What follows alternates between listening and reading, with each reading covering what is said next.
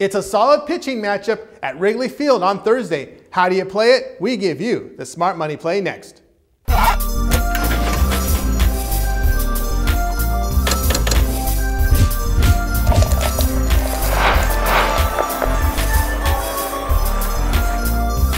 Tony T here from Gamblers Television, covering Major League Baseball Vegas style each and every single day. Now it's time for coverage from Major League Baseball. It's Milwaukee with Gallardo on the hill at the Cubs Zambrano, 2.20 p.m. Eastern Time, MLB pay-per-view to televise. You know, we have a really good pitching matchup on a Wednesday afternoon at Wrigley Field. Brewer right-hander Yovani Gallardo began the season on the DL with a knee injury.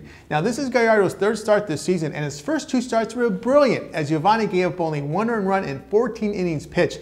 Now, Brewer batters have been poor in clutch situations, as heading to Monday's action, they were just 1 of 26 with runners in scoring position. Cub ace Carl Zambrano has been outstanding, surrendering only three earned runs over his last three starts and pitching through the seventh inning in each one of them. Now, Gallardo and Zambrano will go deep in this game, and playing under 8.5 runs is the rock solid nuts. Play this one under 8.5 runs. Be sure to visit and bookmark my TV show page at www.gamblerstelevision.com for continuous Major League Baseball coverage for gamblers. Gamblers Television, get addicted.